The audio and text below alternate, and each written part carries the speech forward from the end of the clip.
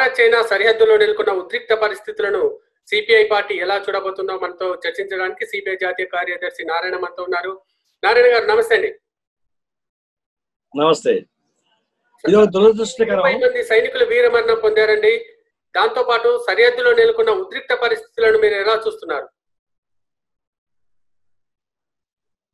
ఇది ఒక దురదృష్టకరమైనటువంటి ఘటనగా మేము భావిస్తా ఉన్నాం.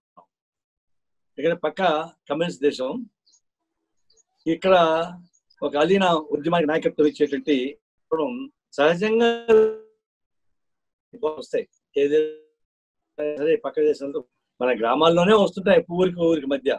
తెలంగాణ ఆంధ్ర మధ్య అట్లాంటివి వచ్చాయి. ఇప్పుడు మణిపూర్ లాంటి గోవా ఈశాన్య ప్రాంతాలు అని సమస్య వస్తూ ఉన్నాయి.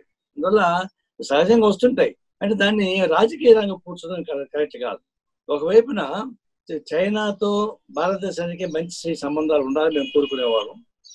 తర్వాత ఏదైనా సమస్య వస్తే ప్రభుత్వం ప్రభుత్వం మధ్య కూర్చొని చర్చించి పరిష్కారం చేసుకోవాలి తప్ప యుద్ధం పరిష్కారం కాదని చెప్పేసి నేను ప్రగాఢంగా చేపట్టే వాళ్ళం మేము. ఇక్కడ ఒక దేశం ఇంకో దేశం యుద్ధం జరిగినంత మాత్రం ఎవరు దీనిలో జిత్తులో పరాజితులు ఉండరు. అందరూ పరాజితులు అవుతారు. అందులో దీనికి మాకు ఇష్టం లేదు.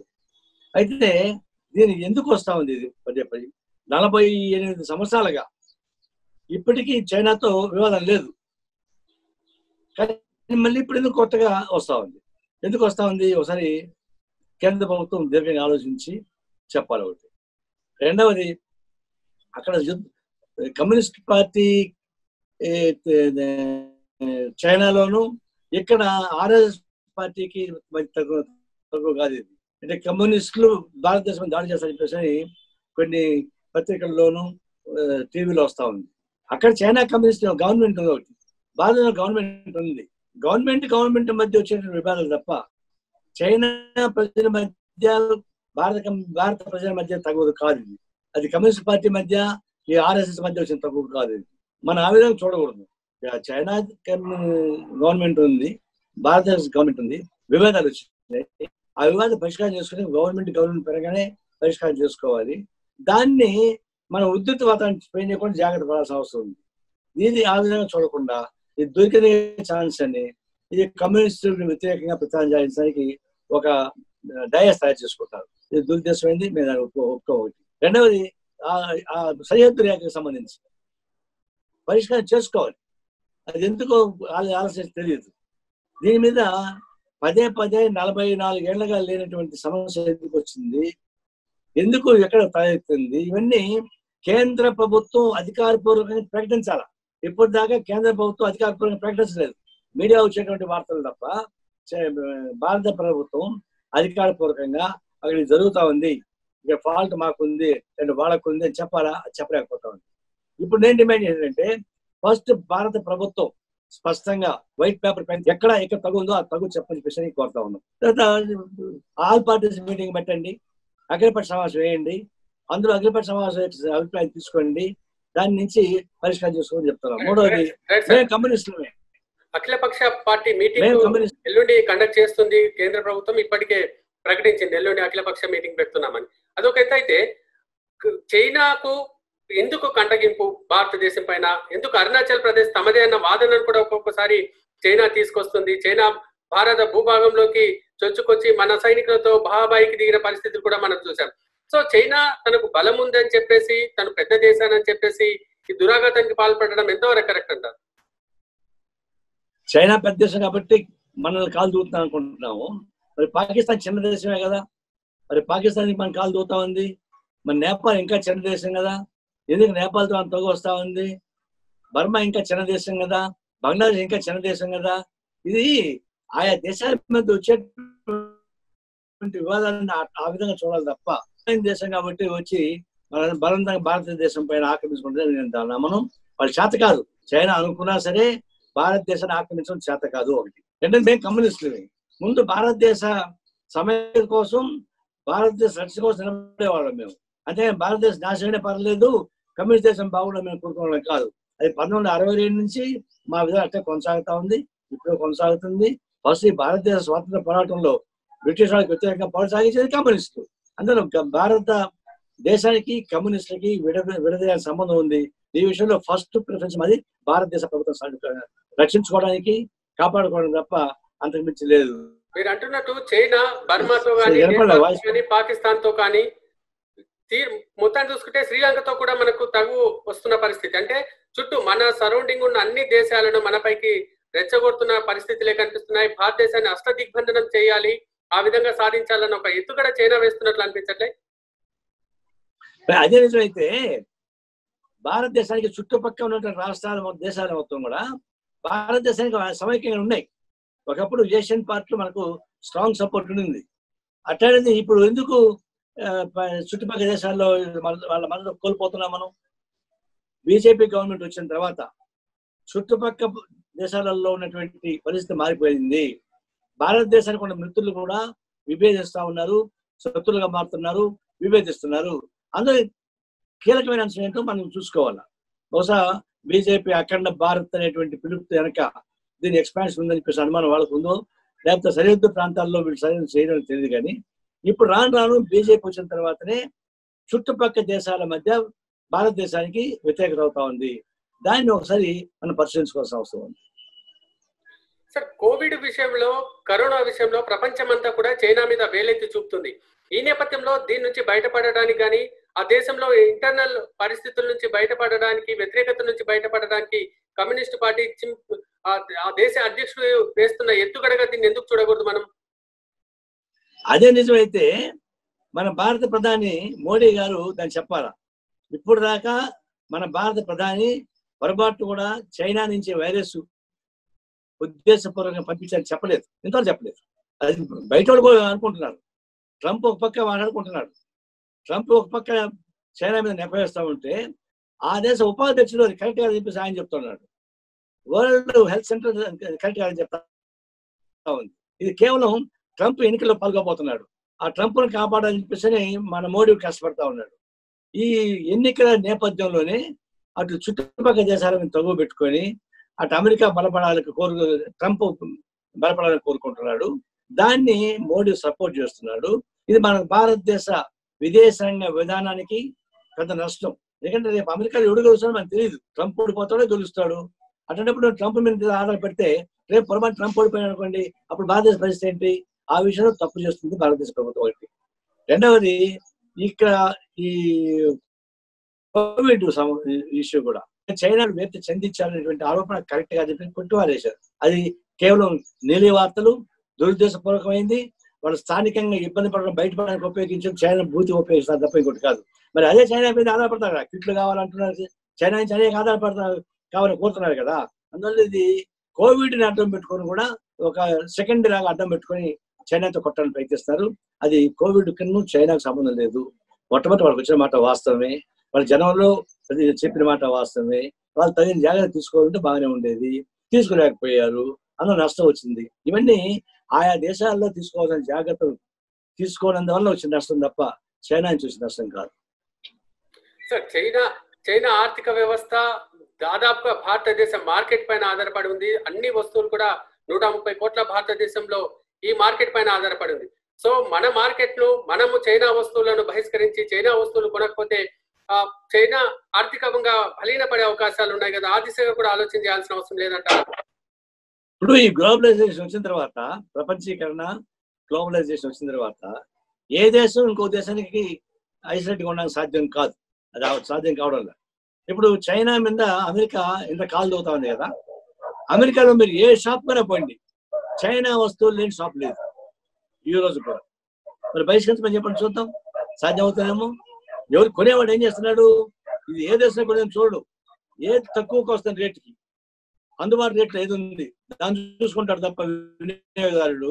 ఈ దేశంలో ఉంది కాబట్టి బైక్ చేయమని ఎవరు చేరు అమెరికా కానీ భారతదేశం కానీ ఒక దేశం వస్తువుని బహిష్కరించుకుంటే బహిష్కరించరు. వాళ్ళకి ఆదాయం ఉంటేనే బహిష్క బహిష్కరిస్తారు.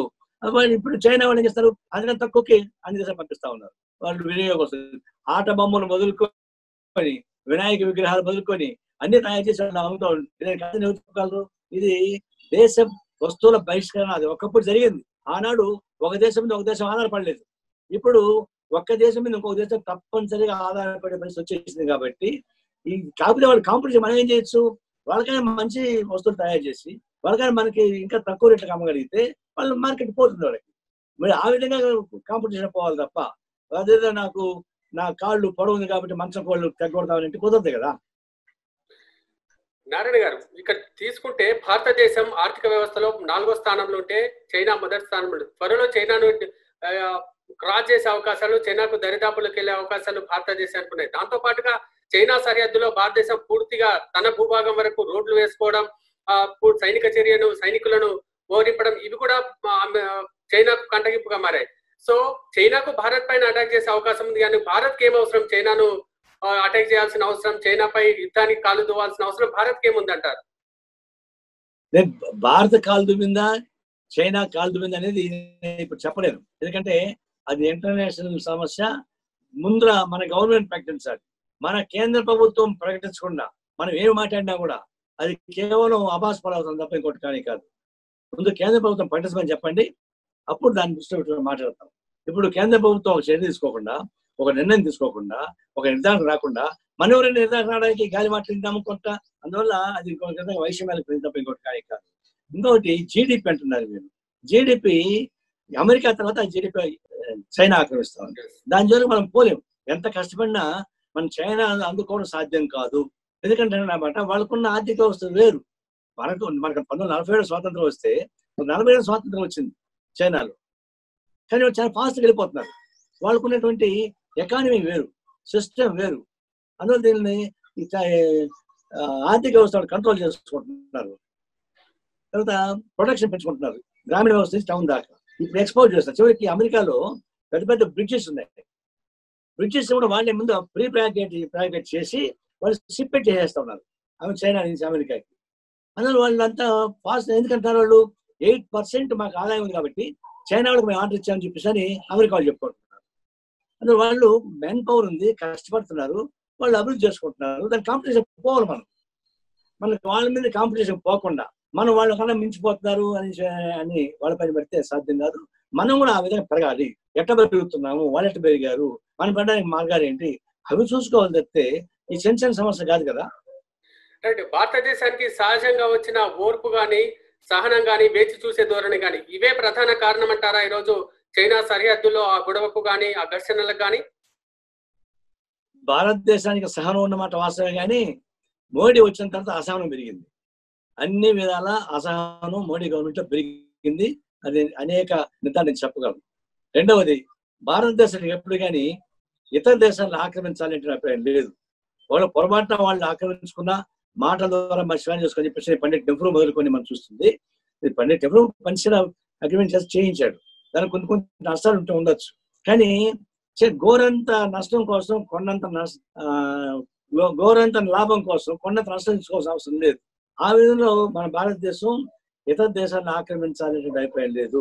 అయితే విశ్వ హిందూ హిందూ పరిషత్ మాత్రం అఖండ భారత్ పోవాల్సిందే అఖండ భారత్ అంటే ఇక్కడ పాకిస్తాన్ ఆ, పక్కనే ఉన్నటువంటి దేశాలన్నీ మూడు నా మూడు నాలుగు దేశాలు ఉన్నాయి. అవన్నీ కలిపి అఖండ భారత పోలినటువంటి ఒక ఫిలాసఫీ మన బీజేపీకి ఉంది. బీజేపీ ఆర్ఎస్ ఉంది. అది చేయగలరా లేదా తర్వాత విషయం. ఆలోచించుకుంది కానీ భారత ప్రజలకు కానీ భారత ప్రభుత్వాలకు కానీ దీని ఆలో ఆ- మనం ఎక్స్పాండ్ కావాలి. ఇతర దేశాలు ఆక్రమించాలనేటువంటి అభిప్రాయం మనకి మాత్రం లేనే లేదు అనే గ్యారెంటీ చెప్పగలం రైట్ అండి. నిన్న జరిగిన గొడవ గాని ఆ ఇరవై మంది సైనికుల వీర మరణం పొందడం గాని ప్రధాన కారణం ఎవరని మీరు మీ పార్టీ అనుకుంటుంది? దానికి మెయిన్ రీజన్ ఎక్కడ ఉంది పరిష్కారం ఏంటి? కొన్ని కొన్ని వీడియోస్ చూశాను. అవి సరిహద్దు ప్రాంతాలలో అటువైపు సైన్యం ఇటువైపు సైన్యం ఉండి ఆయుధాలు ధరించి ఉంటారు కానీ ఈ రాళ్ళు చెక్కలు పొలలు కట్లు పెట్టుకుని కొట్టుకుని అక్కడ చూడలేదు. ఎందుకంటే సాధ్యం కాదు. బార్డర్ ఏరియాస్లో వాళ్ళ సైన్యం ఉంటారు మన సైన్యం ఉంటారు. ఉంటే సైన్యం సైన్యం కొట్లాడుకోవాలి తప్పితే జనం మీద రాళ్ళు రుబ్బేది రాళ్ళు రుబ్బడం ద్వారా వీళ్ళు చచ్చిపోయారని చెప్పేసి అంటే అది నమ్మసక్యంగా ఉంది. లేదు దానిపైన భారత ప్రభుత్వం ఒక నిర్దిష్ట ప్రకటన చేయమని చెప్పేసి మేము డిమాండ్ చేస్తున్నాం. రైట్ ఇప్పటి వరకు వస్తున్న వార్తల ప్రకారం ఇనుప రాడ్లతో రాళ్ళతో ఇనుప చువ్వలతో చంపేశారని చెప్పేసి వార్తలు బయటకు వస్తున్నాయి. కేంద్ర ప్రభుత్వం కూడా అదే చెప్తుంది. దీన్ని నమ్మాల్సిన అవసరం లేదంటారా? కేంద్ర ప్రభుత్వం చెప్పలేదు ఇప్పుడు దాకా. అధికారపూర్వకంగా కేంద్ర ప్రభుత్వం వాళ్ళు మన మీద దాడి చేసి చంపారని చెప్పలేదు. రాళ్ళు రప్పటితో కొట్టుకుని వస్తున్నాయి. అది వీడియో మనకు తెలియదు. ఆ వీడియోల పైన ఆధారపడి ఒక రావడం కాదు. ఆ మాత్రం మేము మళ్ళా మా కేంద్ర పార్టీ కూడా ఈరోజు స్టేట్మెంట్ ఇచ్చింది. ఇది కేంద్ర ప్రభుత్వం తక్షణం స్పష్టంగా బోర్డర్లో ఏం జరుగుతుందో చెప్పి తీరాలని చెప్పేసి అని ఇప్పుడే తాజాగా స్టేట్మెంట్ పంపిస్తున్నాం. సెంటర్ ఢిల్లీ నుంచి. దాన్ని పరిశీలించండి. ఫైనల్గా ఫైనల్గా ఒక మాట చెప్పండి. ఈ ఉద్రిక్తలు తగ్గాలంటే ఏం చేయాల్సిన అవసరం ఉంది? ఎందుకంటే కంటిన్యూగా ఇన్ని రోజులు పాకిస్తాన్తో ఉండేది ఈ మధ్య చైనాతో కూడా కంటిన్యూగా ఉద్రిక్తతలు నెలకొనే పరిస్థితి ఉంది. సో ఇవి తగ్గాలంటే ఏం చేయాలంటారు? ప్రభుత్వం బయలేటరల్ డిస్కషన్స్ ఇంకా యాక్టివ్గా జరగాలి. కేవలం ఆఫీసర్లు ఆఫీసర్ల మధ్య మాట్లాడుకుంటే పరిష్కారం కాదు ఇది. ఒకవైపు ఆఫీసులు మాట్లాడుకుంటున్నారు ఇంకొక వైపు దానం జరిగిపోతా ఉంది. మన ముఖ్యమంత్రి సూర్యాపేట ఉన్నటువంటి మన కర్నల్ ఆ, మనం పోగొట్టుకున్నాం. అందువల్ల అది రిపీట్ కాకూడదు. తక్షణం కేంద్ర ప్రభుత్వం హై లెవెల్లోనే అర్జెంట్గా కేంద్ర చైనా గవర్నమెంట్తో మనం మాట్లాడాల్సింది. తర్వాత అర్జెంట్గా ఓపెన్గా ఒక ప్రకటన ప్రపంచ ప్రజానీకానికి ప్రపంచ ప్రజలకు మన అభిప్రాయం తెలియపరచాలంటే కేంద్ర ప్రభుత్వం మోడీనే ఒక స్టేట్మెంట్ ఇవ్వాలి. ఇవ్వడం ద్వారా అప్పుడు చైనా వాళ్ళు దిగుతారా కాలు దిగుతారా తేలిపోతుంది మనకి. మనం మనం మాత్రం మన మన ఇంట్రెస్ట్ మన దేశం ఇంట్రెస్ట్ దీన్ని కాపాడుకోవడానికి ఎంతవరకైనా పోవాలనిపిస్తుంది నా ఉద్దేశం. సార్ లాస్ట్ లాస్ట్ క్వశ్చన్ అండి. బీజేపీ నుంచి కానీ మిగతా వర్గాల నుంచి సిపిఐ పార్టీ పైన కమ్యూనిస్టుల పైన వస్తున్న విమర్శ చైనాకు మద్దతుగా ఉంటారని చెప్పేసి ఏ ఏం చెప్తారు ఫైనల్గా దీనిపై? భారతదేశ చరిత్ర మొత్తం మీరు పరిశీలిస్తే బ్రిటిష్ సామ్రాజ్యవాదులకు వ్యతిరేకంగా పోరాటం సాగించిన కమ్యూనిస్టులు కొన్ని వేల మంది కమ్యూనిస్టులు వీరమరణం చెందారు. అప్పుడు ఆర్ఎస్ఎస్ పేరుతోటి సావర్కర్ లాంటి వాళ్ళు ఉన్నారు. వాళ్ళు బ్రిటిష్ వాళ్ళకి అనుకూలంగా ఉన్నారు తప్పితే స్వాతంత్ర పోరాటానికి అనుకూలంగా లేరు మీరు కానీ చరిత్ర తిరగేయండి. అందువల్ల ఎప్పుడు భారతదేశానికి ఇబ్బంది వచ్చిన పంతొమ్మిది అరవై రెండులో చైనాకు యుద్ధం అమెరికా చైనాకు ఇండియాకి ఇబ్బంది వస్తున్నప్పుడు కూడా సిపిఐ ఏం చెప్పింది? ఇది కరెక్ట్ కాదని చెప్పి చెప్పింది తప్ప చైనా సమర్థించలేదు అప్పుడే కమ్యూనిస్ట్ పార్టీ చీలికి వచ్చి చదివేది సిపిఐ ఇచ్చింది నేను చెప్తా ఉన్నా. మేము ఈ దేశ కోసం త్యాగం చేయడంలో కమ్యూనిస్టుల కన్నా మించిన వాళ్ళు ఎవరు లేదని చెప్పేసి గంట చెప్పగలను. అవసరమైనప్పుడు ఈ దేశానికి అన్యాయం చేసే పద్ధతిలో ఆర్ఎస్ఎస్ పెరిగింది తప్ప ఇంకోటి కాదు మాత్రం నిర్ధారించగలను అందువల్ల దేశభక్తి పైన మమ్మల్ని సంకేతానికి ఎవరు శాత కాదు. థ్యాంక్ యూ వెరీ మచ్ అండి నారాయణ గారు.